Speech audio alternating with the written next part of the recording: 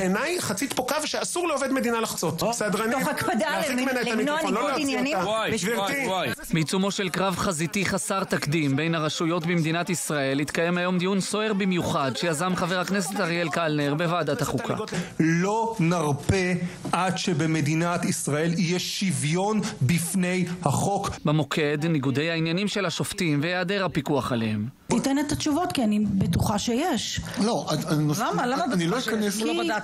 בין היתר פרסומים כי השופט עמית דן בשורת תיקים בהם אינטרסים כלכליים משמעותיים לחברות בהן אחיו וגיסו מכהנים בתפקידים בכירים ונשיאת העליון חיות דנה בתיקי חברות ביטוח אותן מייצג בעלה עורך הדין דוד חיות. בנוגע לטענות שהועלו לגבי הנשיאה חיות, נציב תלונות הציבור על השופטים דחה את כלל הטענות נגדה, ומחזור הטענות האלה כעת מעורר חשש שהמניעים לעשות כן אינם, אלא- אה, אינם ענייניים, והמטרה היא אחת, להוביל לפגיעה באמון הציבור בבתי המשפט. הדיון שהתנהל באווירה מתוחה והיה טעון. בריונות אינסופית, גם בבקשה. בפגרה. גלש מהר מאוד לחילופי דברים קשים לאחר שנציגת הנהלת בתי המשפט האשימה את הח"כים במניעים פוליטיים. גם בעניין השופט עמית, הנושא נבדק... רק, רק רגע, סליחה שנייה. תן לי לסיים, בבקשה. סליחה.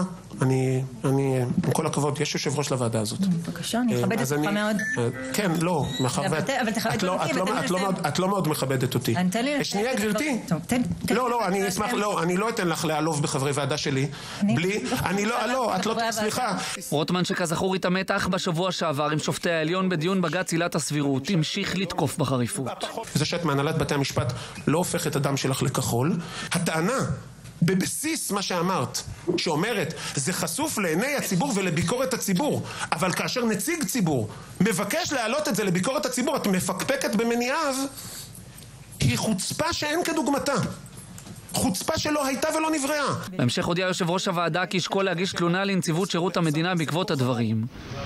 במקביל ולאחר סאגה הודיעו היום שופטי בג"ץ כי הדיון בעתירה נגד שר המשפטים יריב לוין בעניין אי כינוס הוועדה לבחירת שופטים יתקיים בעוד כחודש. דומה כי היום צפינו רק בפרומו.